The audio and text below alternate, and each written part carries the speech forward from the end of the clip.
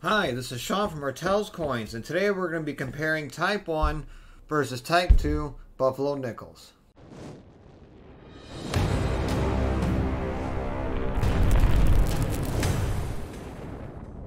Today we're going to teach you how to tell the difference between a Type 1 and a Type 2 Buffalo Nickel. Type 1 and Type 2 were made for the first year Buffalo, which was 1913. Um, right here is your Type 1.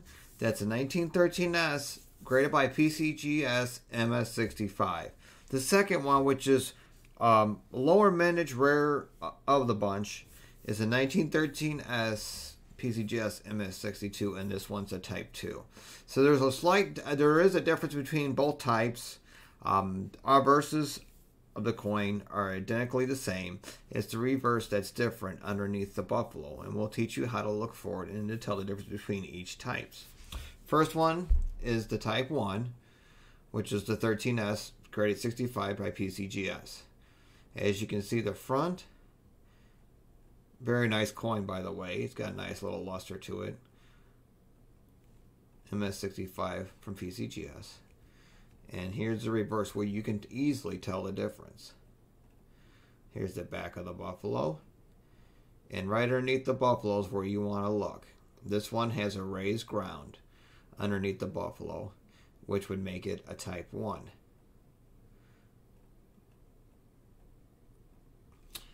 The other one is the 1913S type 2. As you can see again, the fronts are identical to each other. And how you tell the difference is on the reverse of the coin.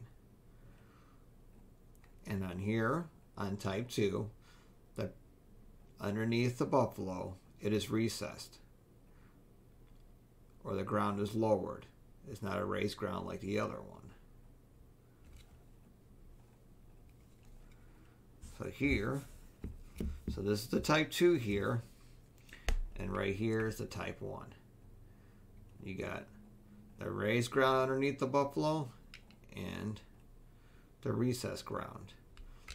Here we're going to take a closer look real quick to show you the difference.